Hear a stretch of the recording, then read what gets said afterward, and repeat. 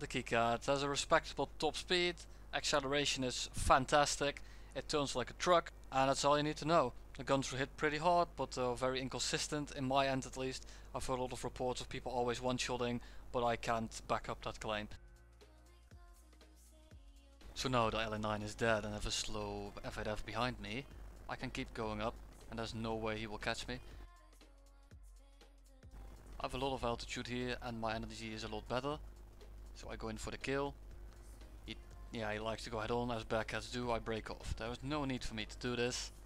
I can just keep looping over and there's no way he's getting a shot. We'll keep doing this until he's drained of energy. I'm slowly draining myself. But I have a lot more speed than him so it doesn't really matter. F8F coming in, not too worried, he's probably gonna pull up again, and he does. Otherwise he probably would have stayed alive till his friend ca came in, but it's too bad. And that's one. Bullying props in this thing is something you will do a lot, that's why I'm showing you. But at the same time it's not the hardest thing to do, you just have to be a little bit careful, because you do turn pretty poorly. And you see, he's going after me, but there's no way he's catching me. F8F goes about 670, I can go 800 easily. X15 diving on me, I'm gonna pitch up into him. Rasor's right behind him, so if he tries to go after me he's probably gonna be toast. I go up, stay a bit close range, he's too focused on me, and he gets popped. Now alone with the F8F that blew all his speed trying to catch me, went up a bit. His top speed is 670 but that doesn't mean he'll maintain it easily.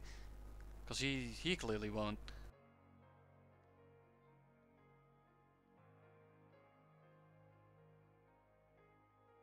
It's clear that this F8F has uh, very little chance to survive here. So Rasor will just uh, go away.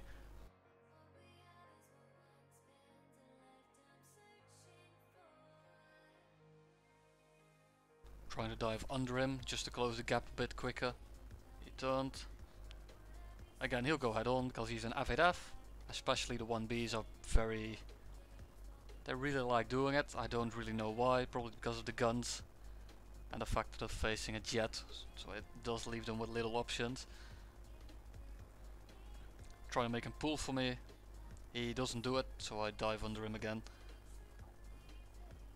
The flaps rip at around 580 everything above it they will instantly rip. The combat flaps that is. And he's, he's done.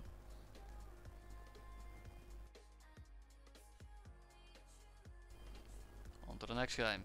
I'm a bit lower. Well, I don't really have to say that, you can clearly see it, but I'm fast. I'm doing this so he might think that I'm very slow or that he has more energy because he's above me. That's a mistake a lot of people make, especially in jets.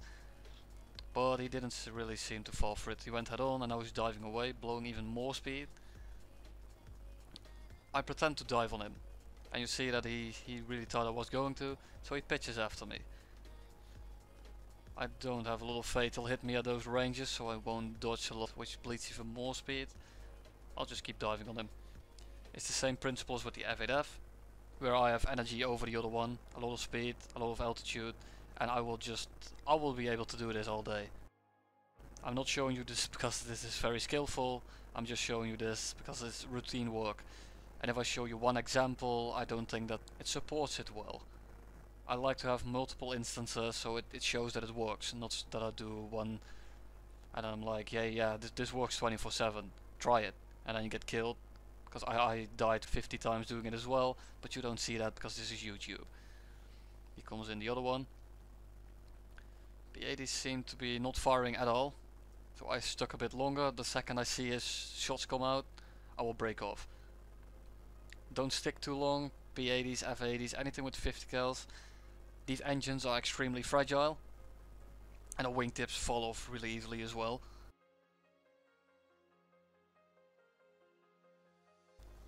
And right here, you can tell that the P51 is slowly but surely losing all of its speed. I'm not completely sure what this F80 is trying to do, but yeah, whatever. Didn't manage to pull that in time. Going up again. I could have looped over him right there, but he had enough energy to pull after me. So I would probably stall right in his guns. I pulled through him. Right now I have a lot more separation. I was trying to stall him out. He is smart enough not to do it, but he doesn't really have a lot of options here. He tried his best. I had a lot more energy, but at the start he, he screwed it up by diving away.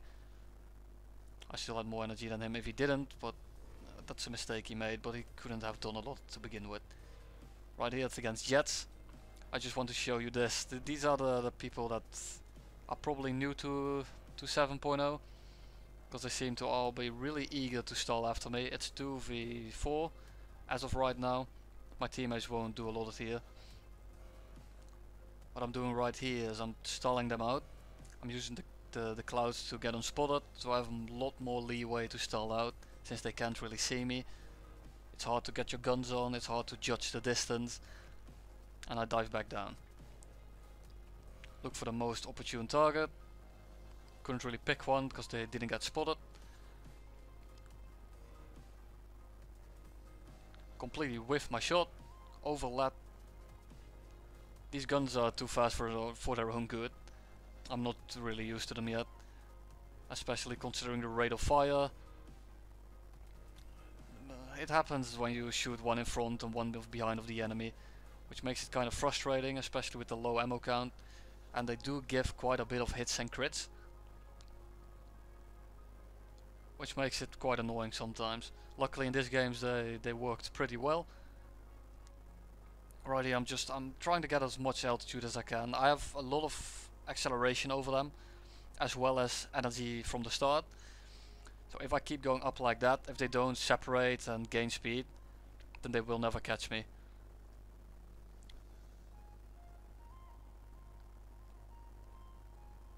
And they keep trying to pull for me which is a very big mistake. What they had to do, well, all they had to do was just fly away in a straight line, gain some speed, because they are faster than me, every every one of them.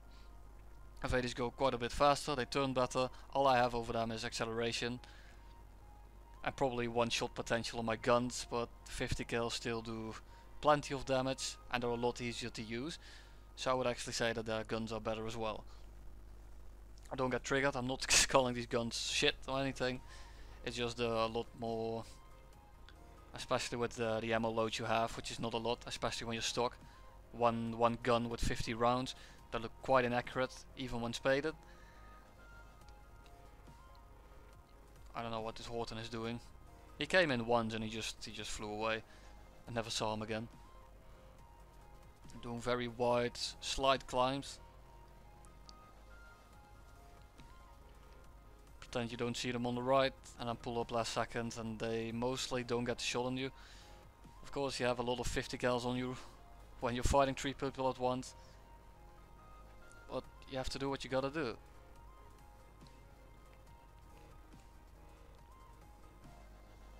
And now all of them are slow. I am still going 400 at 4k.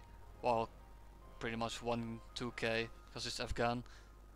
They spawn, you spawn at 1.3 kilometers. That's another one. Just look how slow they are now. Because they kept trying to turn with me. They bleed a lot of speed because they turn better. And they have quite bad accel.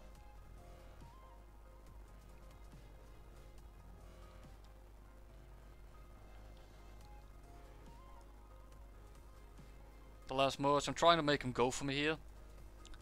But he realizes they are capping the, the airfield. Which makes them auto win and he'll just run away. I am actually kind of sad that I wasn't able to clean him up, but hey, it is what it is. It flies a lot like the C2B in that regard, it has very good acceleration, the top speed is good but not the best, and it doesn't really turn, and this is a very good example of a pure energy fighter, because you, you can't really turn with people, you can't try to reverse, well you can try of course, but it's not the best idea, it's really reliant on its engines of which I'll show you another example right here. We were going the same speed so I did a slight climb at 600 IAS his top speed is about 600 IAS at this altitude maybe a bit maybe a bit higher 700 on the deck roughly. And I do this slight climb away and then I pull over him. I'm a lot higher than him right now and if he decides to pull after me he did pull up quite a bit because we were on the deck going 600 I can really see here the, the amount of energy I have over him right now. I did completely whiff that shot. I don't have any excuses for that. I just didn't uh, calculate his turn well enough. And you see the separation right now. We were going the same speed on the deck about uh, one and a half minutes ago. You just have to take my word on that because it's a lot of boring flying away. But now he's completely energy trapped. And there's very little he can do. The problem with the Yak 15 though, they turn really well and they're very tedious to hit. They're very small. And you just... It's a P even. On his 123. I was hoping I could get the shot here, but it doesn't turn well enough. It just simply doesn't. The rest of this fight wasn't really worth showing. They kept flying away and I got a crit in the clouds because he didn't see me and yeah that that's about it. I just showed you the start of it to show you the the differences in acceleration the differences in climb rate how bricky it is. It, it's a truck. It, it really is a low tier C2B in almost every regard. The only difference is that the guns are a lot faster and that they give more hits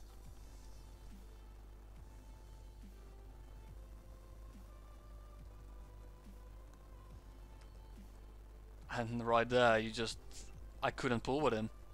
Sure I do wait way too long to shoot because I only have 14 rounds left. But they're very tedious to hit. And that's all I have for now. I do have uh, an idea what I want to do. So I want to make a jet guide but from start to finish.